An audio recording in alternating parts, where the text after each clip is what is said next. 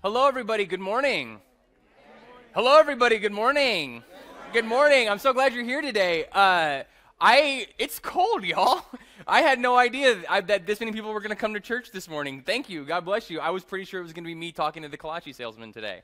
Uh, so I'm thrilled to see all of you. If this is your first time joining us, this is the gathering. This is a new place for new people, and I'm Lance. I'll be your maitre d for this experience. I'm one of the junior varsity pastors here at First United Methodist Church of Fort Worth. Uh, so I'm glad that you've joined us. We are in a Christmas season right now called Advent, which is a season of preparation, preparing for the coming of the King that happens on Christmas Day. Uh, before we get going, I want to make a couple special announcements. One, when you came in, there were a couple different things in your seats when you sat down. Uh, the first thing is an attendance card. Whether this is your first time or your thousandth time, I ask that you make note of your attendance. Uh, I'm a real data driven kind of person, and just knowing who's making it and when helps us make sure that the things we do are the things that you want to engage with. Uh, if you're a first time person and you give me your contact information, all that happens is you get added to an email list. I promise I won't troll you. Uh, so, in just a second, some baskets are going to come around, and uh, these attendance cards are placed in the baskets. Also, the baskets receive our tithes and offerings.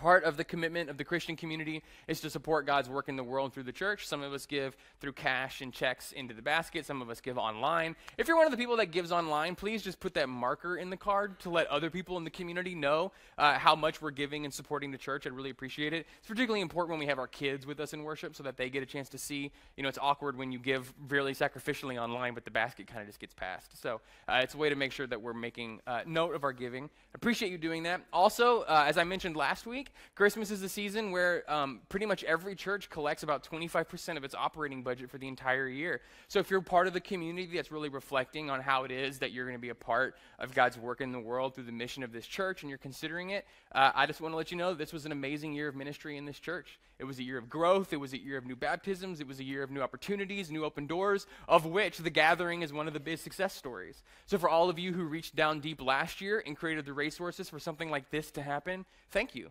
Uh, it's because of your giving, it's because of your foresight, it's because of your willingness to trust that we were able to listen to the Holy Spirit and create something like this that can pack a room uh, at 9:30 on the coldest morning of the entire year. So, uh, God bless you all for all of your support. That's coming around right now. Uh, also, want to make note of uh, the schedule that's coming up. If I can hand that right there. Uh, so this is Sunday the 18th. Is that right? Uh, so, Christmas Eve is Saturday. Uh, Christmas Eve is one of the biggest days of worship here at the church. And I want to give you the schedule of what Christmas Eve worship looks like. So, the first Christmas Eve service, all services are going to be in the sanctuary. The first one happens at noon. Uh, if you're the kind of person that likes calm, and if you're like the kind of person who likes to come and you like to have four family members meeting three other family members and then meeting five other family members, and you all want to be able to sit together, noon is a great time to do that. Uh, I really suggest it. It's going to be a traditional service. Uh, 3 o'clock and 5 o'clock are children's services. So, uh, how many of y'all have elementary aged kids or younger in this community? So, you're probably familiar with those. If you've ever gone to children's first worship, it's just like that. There's kids leading it, there's puppets, there's family sing alongs. It's really cool. There's crayons in the aisles, it's, there's very scary candles. Uh, that are passed out. If you're the kind of person who likes living on the edge with fire, that's a great service to go to. Uh, those are at three. That never, never more do we light the candles and then put them out than at the three and five o'clock services. Uh, the three o'clock service is crowded. The five o'clock service is insane. Uh, so if you're the kind of person who likes showing up late and not knowing if you're going to get a seat or not, the five o'clock service is for you. Uh, let me recommend 15 to 20 minutes early. I want to be really honest. It's like one of the great things about Christmas Eve is a whole bunch of people who don't normally attendance and worship join, and that's excellent. That's exactly why we have so many services. But if you show up at the time the service is or five minutes late because that's what it took your family to get out the door and get parked, it's really hard to sit. So please let me encourage you to have a time of stress and lack of worry. Get there as early as you possibly can. If you want to come with kids, three o'clock is going to be less stressful than five o'clock. 7 and 9 o'clock resume the traditional services. 7 o'clock will be busier. Uh, 9 o'clock is not crowded at all. It's another service that you can come in and sit with your family really easy. 11 o'clock, everyone's a little loose. the singing's really good at the 11 o'clock service usually. Uh, that's a really fun one. I'm going to be part of the leadership in the 7, the 9, and the 11 o'clock services. Uh, so I'm going to be here all day with my family. I hope that you join us. Christmas Eve at this church is truly remarkable. There's very few places that you can get more in touch with the Christmas spirit than with the organ and the choir and the candles and the singing. Christmas Eve at First Church is truly special. So also, if you have a family uh, that you don't doesn't have a place to go to church on Christmas Eve, that's the way place to do it. So this year, Christmas Day falls on a Sunday, so we're going to have Christmas Day worship uh, again in the sanctuary. However, we are only going to have one service for the entire church on Christmas Day. No uh, 11:11 service, no 8:30 disciple church service, no gathering. So the only service on Christmas Day is going to be 11 o'clock in the sanctuary. New Year's Day, the following week, is the following Sunday. Uh, also the same situation. Only one service on uh, at 11 o'clock in the sanctuary. So, is there a gathering on Christmas Day or New Year's Day? No. no. Rest. Um, I'm looking forward to it. I'm looking forward to getting a chance to catch up a little bit. Um, so that'll be a great opportunity for me to catch up. I'll be with you in worship in the sanctuary on those days. Uh, so if you come and join us, I hope you do. That's where worship is going to be. And then the gathering is going to kick back up with a full head of steam, ready to start the new year beginning on January 8th with a new sermon series. We're going to spend seven weeks going through the book of Revelation. Uh, and this is something I've been talking about a whole lot and trying to make sure people know about because Revelation is a very interesting book that requires a lot of digging into. There's a reason it doesn't get used in worship a whole bunch is because you have to spend so much time explaining the background and explaining what the genre is like and explaining the context of the situation in which it was written and how the original audiences received it. I want to make sure that you come to the first couple ones because you're really going to need that to help feel comfortable and engaged. Um, there's three responses I've gotten when I've told people that I'm going to be teaching on Revelation for two months. And the first one is, awesome, that sounds really cool and interesting. And to that I say, I like you. Thank you. Uh, the other response is, that sounds scary and awful. And to you, I would say, I understand, and it's not. Uh, if you're one of those people who's come to the understanding that Revelation is, uh, is only a book of coded imagery about the end of the world that radio preachers can use to buy billboards, let me tell you, it's something very different. Uh, Revelation is a book, it's a genre called Apocalypse. What it's really about is how to live faithfully and follow Jesus Christ in the midst of a world that has very different values.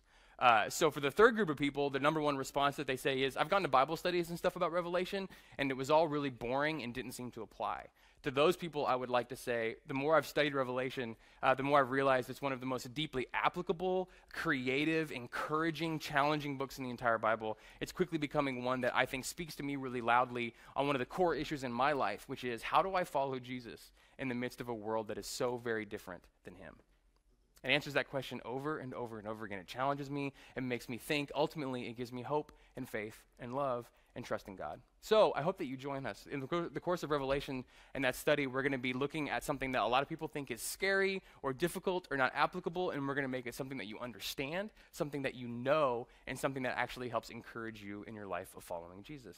That's what the gathering's all about. So that starts on January 8th. I hope that you join us. Now we're going to get started in the way that we start all the way through Advent, and that is with the lighting of the Advent wreath. Uh, each week when we do this, we have a liturgy that's led by some members of our community. I, I, this is all I can give you. Um, so keep coming forward. Uh, Courtney, our liturgist, has been reading every week. Kelly's been lighting the Advent candle. Uh, each one of the candles has a specific theme that guides us in our worship. At the end, if you would all join Courtney's lead and say amen when she's done. Now, let us prepare our hearts and minds for worship.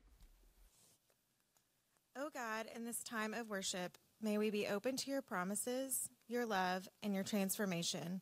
May we vision and dream. May we be surprised.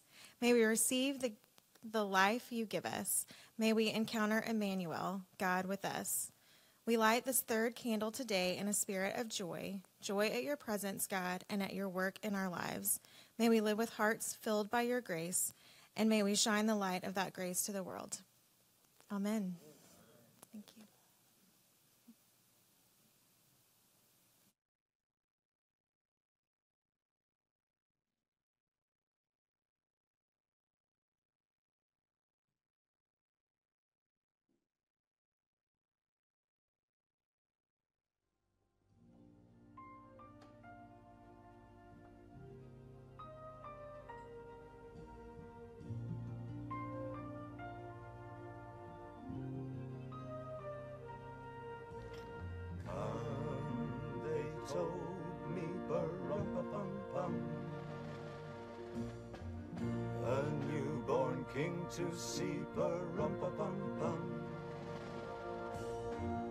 Our finest gifts we bring pa-rum-pa-pum-pum, rum-pa-pum-pum, rum-pa-pum-pum. Peace on earth, can it be? Years from now, perhaps we'll see. Our see the day of glory. See the day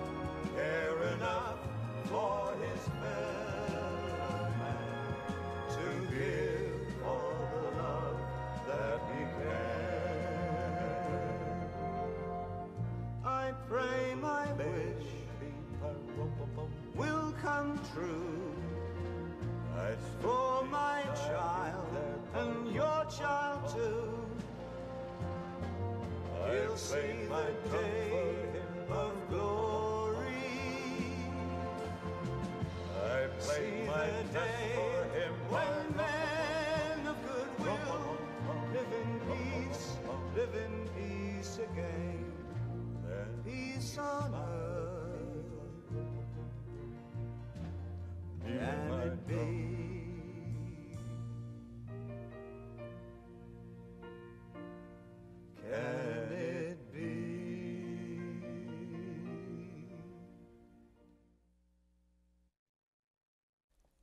Can I ask a question for those of you who were around then?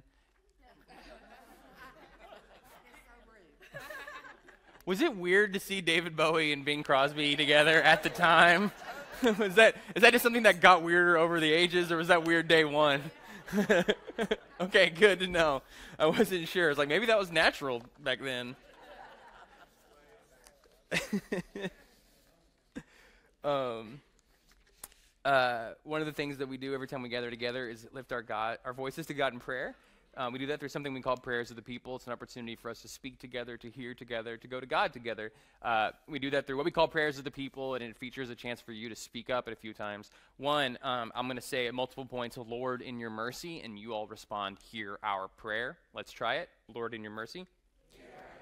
Uh, to, I'm going to lead us in a prayer of confession, uh, then a Trinitarian prayer, Creator, Redeemer, and Sustainer, and then uh, we'll lift up some individual names, and I'll say, "Are there any others?" And when I say, "Are there any others?" that's your chance to lift up some names. Lift up some names of people uh, who have special joys in their life that need to be brought to God and celebrated. Names of people that have special troubles in their life, uh, special suffering, special fear, special fain- pain. Uh, and in solidarity with them, we lift up their names, knowing that they need an extra measure of God's grace with them.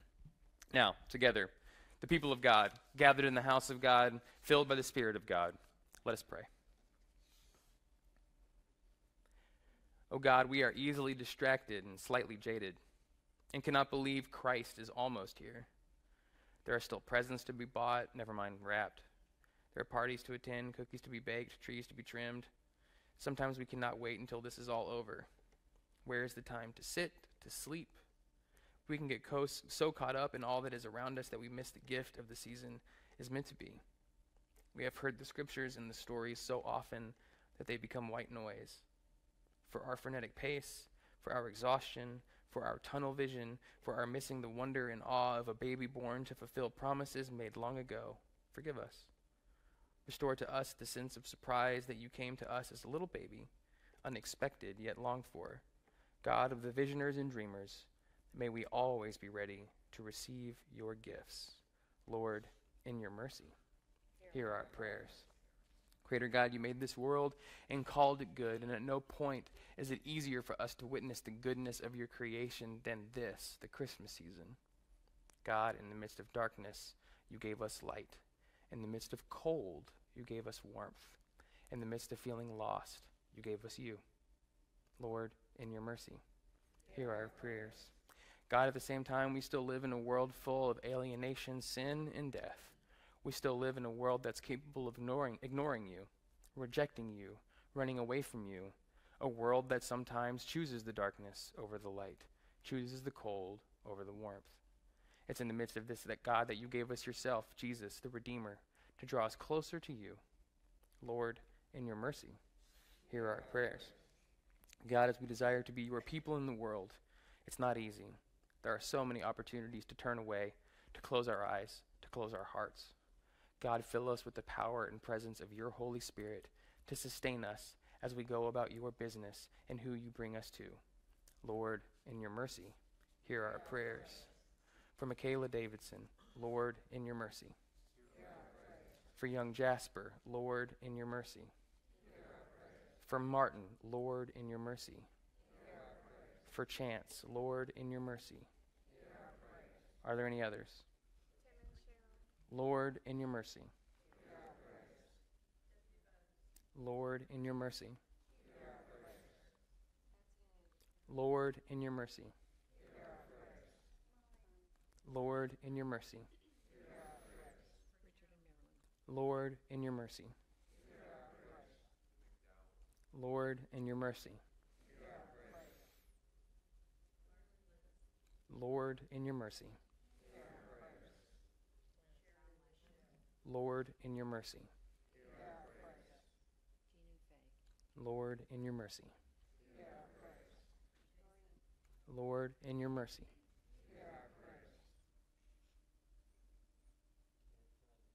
Lord, in your mercy.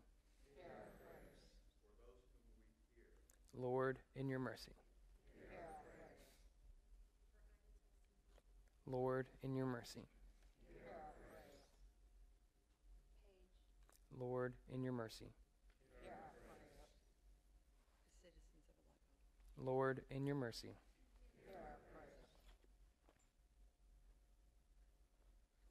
God, for the voices that we speak and those that we hold tight in the silence of our hearts, we come to you, knowing that in the dark midwinter you are here, the source of our light, the source of our warmth, the source of our life, the source of our hope. Guide us, keep us, and let us know your peace and your presence. And Lord, in your mercy, hear our prayers.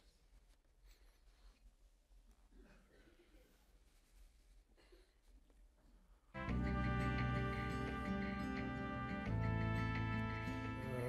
Christians live always in Advent, in the expectation of the future of Christ. And uh, uh, the admonition in the New Testament is not pray, but pray and watch. Pray and watch. Uh, so you must pray with open ears uh, open ears uh, and open eyes to watch uh, the signs of Christ coming. What should we look for? Uh, not uh, catastrophes. I find I found uh, sometimes in the south of the United States, uh, Christ is coming. Expect earthquakes, diseases, etc. No, uh, I expect miracles, the miracles of the kingdom. What would a miracle look like? Uh, the unexpected. Uh, if you don't expect the unexpected, you will not find it. We, uh, uh, we don't expect the miracles, and therefore we don't see them. They are all around us.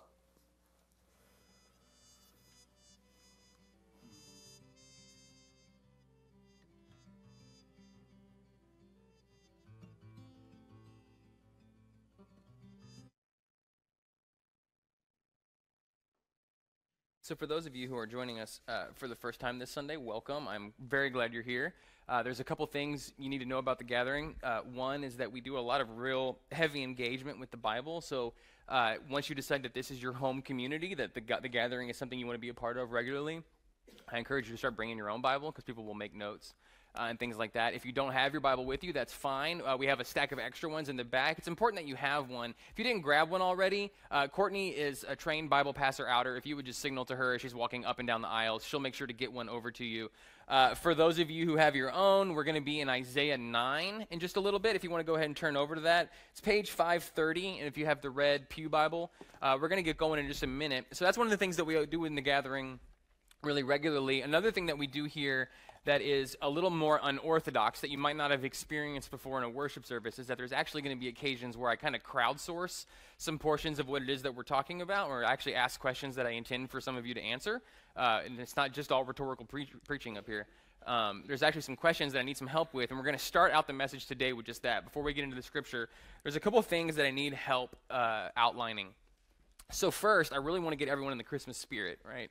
This is a, this is a, it's a cold day. It's dreary. Uh, we really want everyone to be full of light and love and happiness and hope and Christmas feelings. So let's start out with a real uplifting question. What are the problems in the world? Seriously, what are, what are the, when we talk about like the problems in the world, what are the problems in the world? Racism.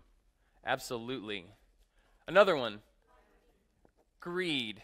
It's funny that I heard greed and poverty at the same time disease, violence, more, war, systemic violence, authorized violence. Next. Apathy, drugs. What another interesting.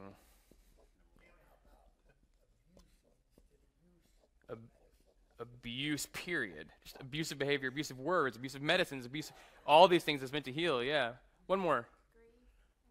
Grief, loss, pain, hopelessness, despair, doubt, grief, despair, hopelessness. Aren't you guys glad you came today? this is good news. All right. So imagine you're walking on Sundance Square, uh, and you very bundled up, and you meet somebody who's who's uh, come from an entirely different part of the world, and they ask you, "I'm sorry, this is this is." Uh, this is odd, but I ran into you on the street and you just look so friendly, and I've heard about Texans and how nice they are, so I wanted to ask you, what is this Christmas season all about? What are the themes of this Christmas season? Like, and I don't mean the story of the baby Jesus, but you're good Christians, you come to the gathering. Of course, you tell them that. We understand. Um, but what are the themes? What's the spirit? What, we talk about the Christmas spirit and the themes of What's this all about? Ultimately, what's Christmas all about? Hope. The season of hope. Joy, expectation. Oh, hold on. Expectation. Um, and I love like expectation, like that something good will happen.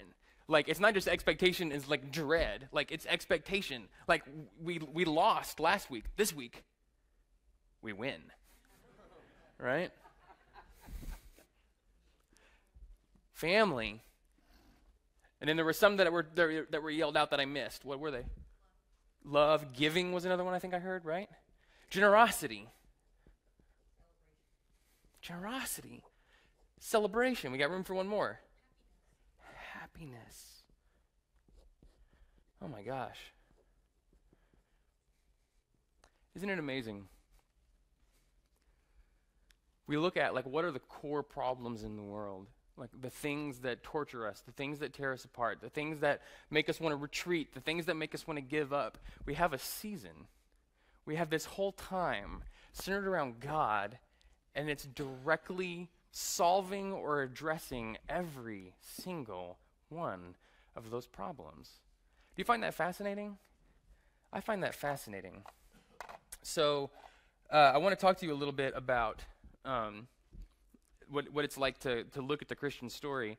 So, one of the things that really just has me in love with the Bible, it has me in love with our faith, it has me in love with the church, the stories that we tell, the work of God in our midst, is that it's so multifaceted, right? You can't ever get it. You can't ever have heard every possible take, right? You can't have ever heard, you can't perfectly understand anything totally and completely. There's always more to the story. There's always another level. There's always something else to learn. There's always another message. There's another chance to grow, right? Uh, like, for example, one of my favorite things uh, to, to talk about, to teach Bible studies about, to think about, to preach about is uh, what's the Sunday before Easter called? Palm Sunday, right? I thought it was a trick question. no, it's Palm Sunday. Sorry, I need to be more clear. the answer you think is going to be the right one, uh, unless it's not. It's Palm Sunday. Um, so Palm Sunday, I love. It's the story of Jesus coming into Jerusalem, right? You've, you've heard it since you were little kids. If you came to church when you were little kids, that's a, that's an ace in the hole little kid Sunday lesson, right? Um, and I love it because there's so many different ways to talk about it. Like so, like the, a way that's talked about over and over again uh, is that it's the people welcoming and celebrating the coming of Jesus, right? It's like that's the, that's the most regular way to talk about it. But that story is like a gem, and every and you can turn it in so many different ways. And the more you turn it, the more lessons come out of it, right? Like another way to turn that story is to look at it's Jesus entering Jerusalem for the first time, right? It's Jesus entering the historic site of God's people, and he's been circling around it, and he's been teaching around it in all the ways that it's not living up to its expectations. And finally, on Palm Sunday, he's entering right into the heart of the story right? He's, in, he's entering ground zero. He's coming to the place that has the control and the power, and he's coming to teach it, to usurp it, to change it, right? All of a sudden, you can turn that facet. There's a whole different aspect of that story. Uh, there's another aspect of that story that I just love, and that people are, are yelling, Hosanna, Hosanna, God saves us. And what they're cheering for, the reason that they're celebrating and waving the palm branches, because they think he's a coming, conquering king right? He's a Jewish leader. He's the Messiah. He's the one they believe in, and they're under threat and owned by someone else who's come in and taken over and holds them down with violence and threats. And they think, here's the king who's come to save us, right? And so they're cheering and celebrating because he's going to rescue them and set them free. But what he's actually come to do is to teach them humility and mercy, compassion and sacrifice. That's not the kind of king that they wanted. And so when you turn that story over in that direction and look at it, there's a reason why they went from cheering him to yelling, crucify him in just seven days because he's not the kind of king that they wanted, right? That's a whole other facet of that story. You can turn it over again and you can realize that in their communities, a whole other facet is that owned by the Roman Empire, being held and subjugated and colonized by them, one of the ways that Roman people of greatness would celebrate is something called a triumph, right? And they would enter town uh, through the western side of the city and they would come in on white horses in a big parade. And when you think of like the opening scenes of Aladdin, Prince Ali, Fabulously, Ali Baba, let's sing. Uh, so.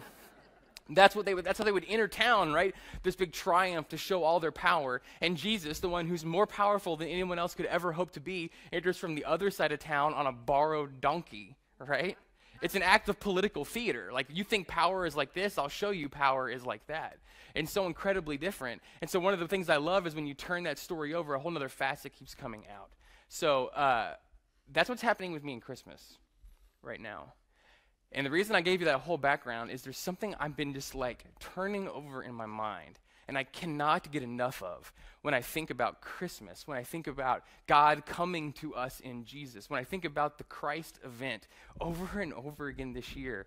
There's something that has been just like living in my brain that I can't stop thinking about. And the reason I gave you all that backdrop is because I want to I'm going to introduce a facet to Christmas you may not have thought about before, but it's the thing that I'm passionate about. And I'm really worried that I'm going to get done with this in 25 minutes and y'all are going to go, that was the Christmas sermon? uh, and so that's why I gave you this whole, like, this is a facet of the story you might not have thought about.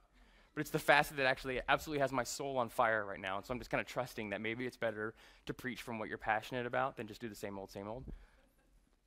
And what I'm passionate about right now is the idea of the Jesus event right? The incarnation of Christ, Emmanuel, God with us, as this interplay between power and vulnerability.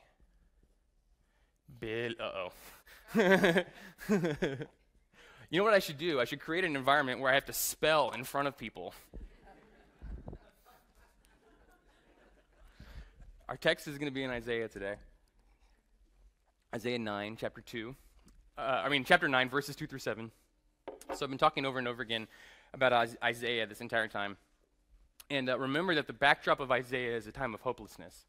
It is uh, a community of people, the kingdom of Judah, that on its northern borders are the biggest, baddest empire they've ever run up against, who, uh, before too long, are going to take over, who are going to come in, are going to tear them up, are going to kill them, are going to take many of them away.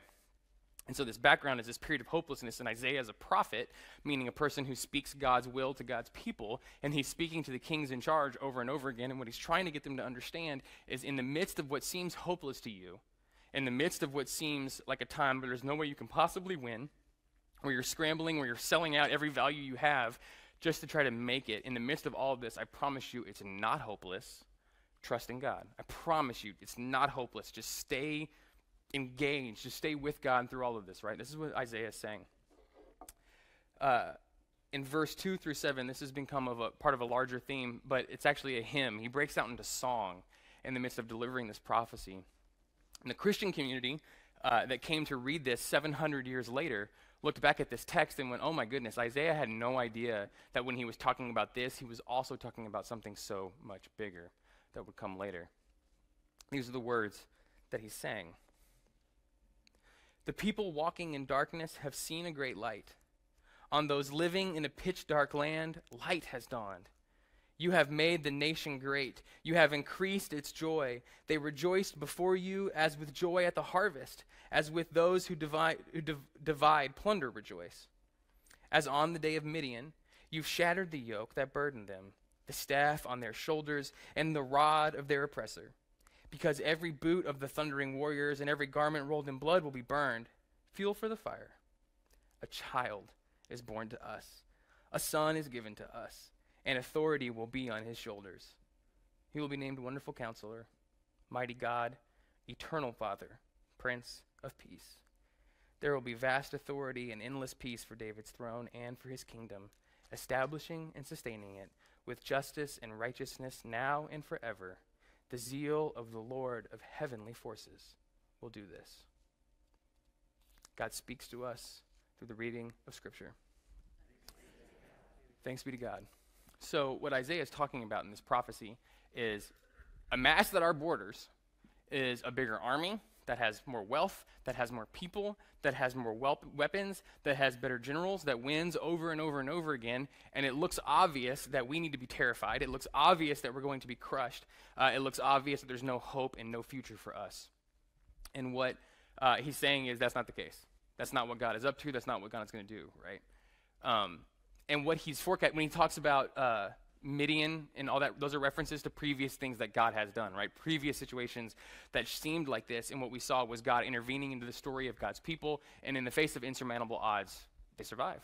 They flourish. They, they overcome over and over and over again. Um, it's, it's a promise of incredible display of power and authority, right?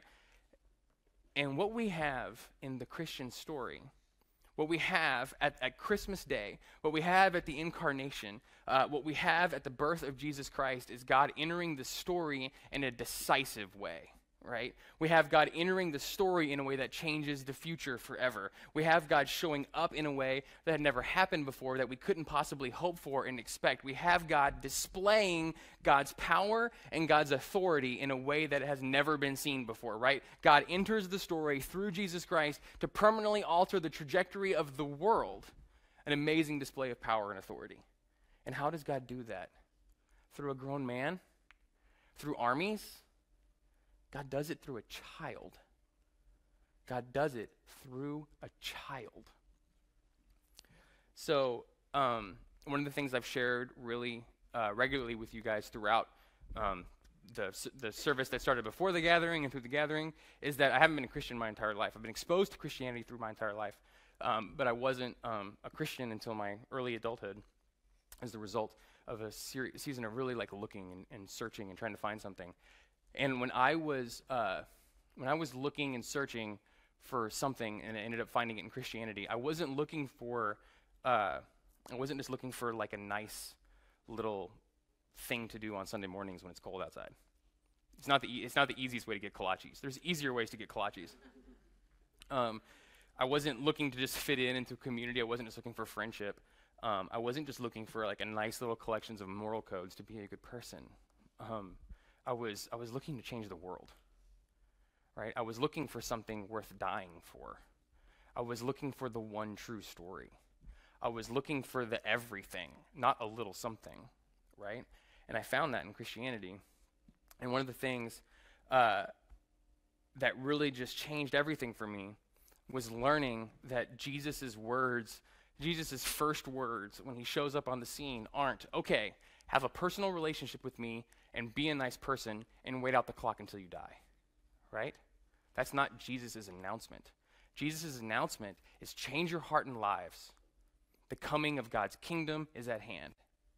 Change your hearts and lives. The coming of God's kingdom is at hand. The coming of the order of the world that is united in hope, joy, expectation of something good, family, love, generosity, celebration, happiness. The kingdom of God is at hand. He's come to announce it, He's come to make it happen, He's come to make it clear. The world that's run by racism, greed, poverty, disease, violence, war, apathy, drugs, abuse, grief, despair, and hopelessness is over, he announces. Be a part of that.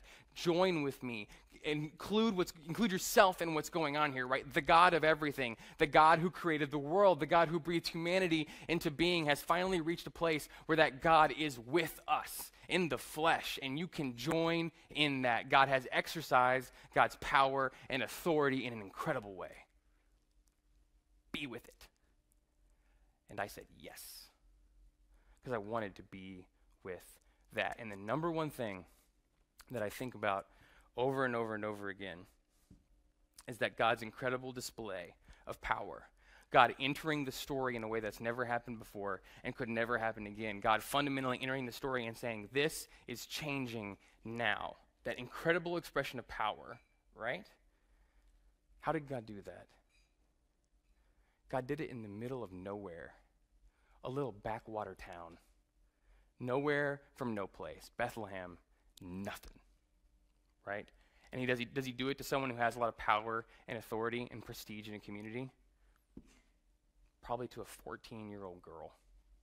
So scared, so unprepared to a family that has no money, that has no prestige, that has no honor. God enters the story there. Does God enter as a conquering king? Does God enter with swords? Does God enter with money? Does God enter with the kind of power that we're used to? God enters our story in the midst of all of our fighting, in the midst of all of our hatred, in the midst of all of our bickering, in the midst of all of our trying to get more power for ourselves. God enters vulnerable. That's how God enters the story. And God in Jesus, over and over again, throughout his entire life, when at every point people are trying to shove a sword into his hand, right? At every point when people are trying to get him to describe who's in and who's out, when at every point people are begging Jesus to exercise the kind of power that they want him to exercise over and over and over again, he chooses vulnerability. He chooses openness. He chooses acceptance. He chooses willingness to be with others on their terms over and over and over again. That's how he exercises his power up to and through the cross. Jesus exercises the ultimate power by willing to accept the world, the worst that the world could do to him. And then one of the things that we're going to talk about over and over again uh, throughout the course of our study of Revelation, in, uh, in Revelation, one of the best images that we see uh, and it happens over and over and over again. We see a world that's in chaos, right? And we see dragons, and we see armies, and we see death, and we see disease, and we see despair. And over again, John of Patmos, in his vision of Revelation that he shared with us, he says, The conquering force of God, the work of God that made all of this okay, the work of God that was so powerful that it saved all of your souls no matter what could happen, the work of God was done in the lamb, the lamb who was slain and is yet standing. That's the thing that conquers. That's the thing that wins. That's the thing, that's the thing that is ultimately powerful. God's power is expressed in that vulnerability. So we call Jesus the Prince of Peace in this text, right? We've heard that before. Jesus as the Prince of Peace. This was happening in a time in the Roman world. Something called the, the Pax Romana. Y'all remember that from high school history? No? Bad high school. Okay, we got to do better. Um, I think we had like a whole week on that. We had an entire year of Texas history, um, and then a week of the Pax Romana. Uh, this was this, this, this multi-hundred years uh, time of peace, right, that was celebrated throughout the Roman kingdom, uh, the Roman Empire. And the Pax Romana was peace as enforced by the sword. Pax Romana was the kind of peace you get when you have the army that's big enough and no one will try to assault you. The Pax Romana was the kind of peace that you get when you go in and kill all the people who are willing to resist you, and at the end, ah, peace. The Pax Romana was the kind of peace that you get when you have more money, when you have more power, when you have more prestige, and everyone is scared of you. That was the kind of peace that they understood in the world at that time. And when they announced the coming of the Prince of Peace, it's an entirely different kind of peace. It's the kind of peace that's made not in preparedness for war, but in preparedness to absorb whatever the other can throw at you. Do you realize how ultimately powerful that is? There's a kind of power that says, I can stomp you, I can beat you, I can win. I can out politically argue in our company, and I can get people with bigger titles and more money and bigger cars to believe in me than believe in you. I can beat you that way. I can beat you by, by saying the things that will hurt you and cut down your self esteem and make you believe that I win. I can beat you that way. That's a certain kind of power. Am I right? And Christmas, in Jesus' life, in the crucifixion, in the resurrection, we see that the strongest kind of power, the most ultimate form of power, is power as expressed in vulnerability.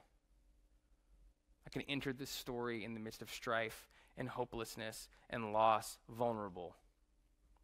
That I can take the slings and arrows of your words, I can take the violence of your body.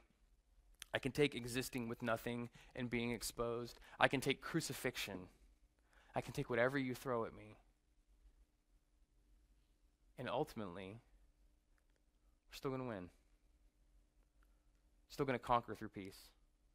Still going to win through hope. You can throw death, you can throw violence, you can throw hate. And God expresses this power that says, No, I'm actually going to show you how great I am by being vulnerable, by being in your midst, by being to th- take whatever you throw at me and letting you know that I still love you, that I'm still here, that the promises are still good. That's what I'm thinking about over and over this Christmas. That's weird, right? That's weird. I, I acknowledge it. That's not the normal Christmas sermon you're going to get. Uh, normally, you're going to get the Savior was born. That's amazing. And it is. What I can't stop thinking about, the Savior was born in poverty. The Savior was born in the middle of nowhere. The Savior experienced rejection over and over again. The Savior was nailed to a tree. We killed him. And still, in the midst of all that, the Savior showed us what it was to really have power and that was to love and to trust and to care enough to be vulnerable. So uh, I want to ask you what needs changing in your world? What needs changing in your world? What needs overcoming in your world? What's the battle in your world? What's the person that you just so badly want to fight? What's the person that you so badly want to circle up against? What's the person you want to take up arms against? Are they at your office? Are they at your neighborhood? Are they on your television screen? Are they at your Christmas dinner table? that one hit. who's the person that uh, who's the person that makes you just want to fight? Who's the person that makes you just want to fight? It's always people, right? We can say their systems, we can say their things, but at the end of the day, it's the racist person, it's the greedy person, right? It's the cancer cell. At the end of the day, uh, it's something. It's something. Christmas is the time where we realize that the greatest power in the world is the willingness to be vulnerable, the willingness to be open. That's the kind of power that ultimately can conquer bigotry. That's the kind of power that ultimately can resist empire. That's the kind of power that ultimately can conquer death. That's what God does at Christmas. God shows us the way. Let's try to follow it. Please pray with me. Loving God, on Christmas, you enter the story. On Christmas, you join your people. On Christmas, you declare that you are with us, then, now, and forever.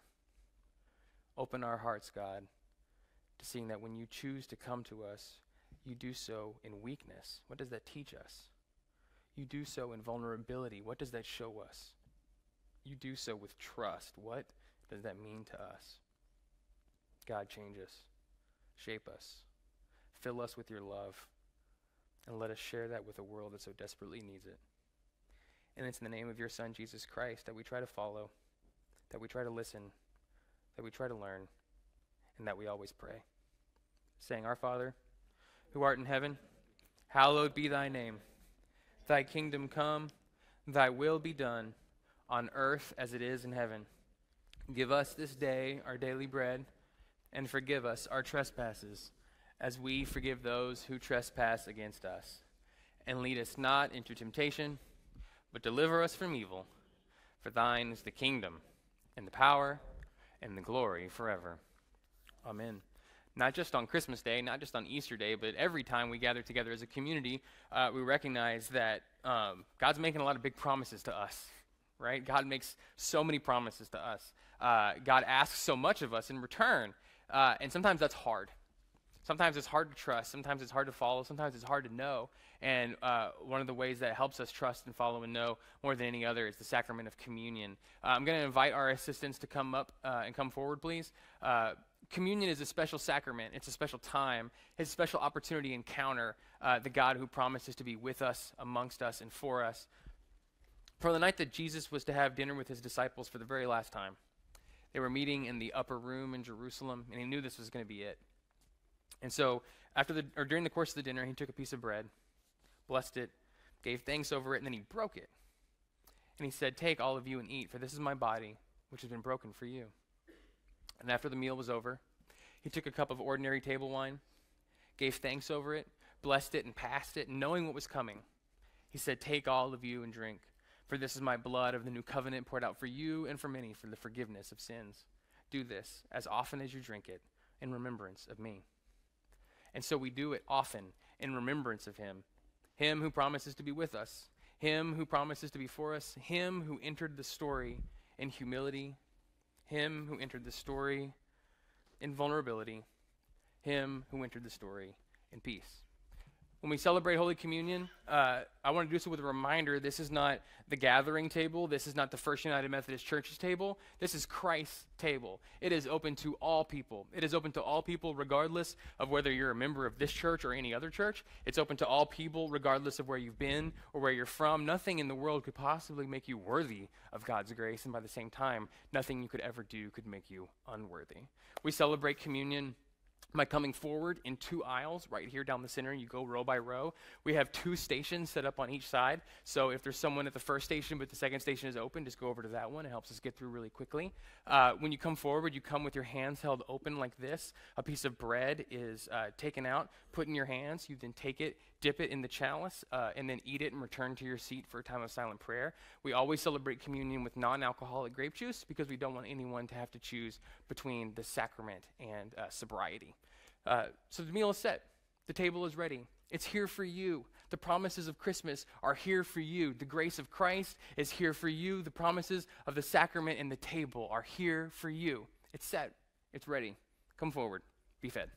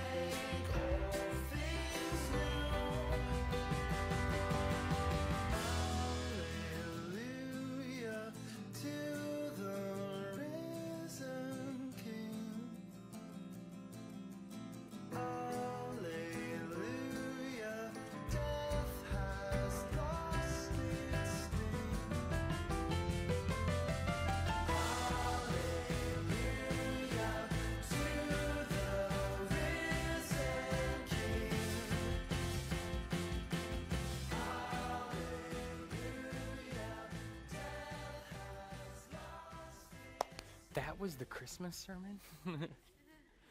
uh, thank you so much for joining us. So that'll be it for the next couple weeks. We will resume the gathering on January 8th. Uh, I pray that all of you have a happy and safe and warm holiday season. Uh, just a reminder, we have a ton going on on Christmas Eve, so make sure to think about those services and how to get here uh, in a way that's not stressful, and so it's a chance of worship for you and your family and then come watch me be stressed because it's a very busy day.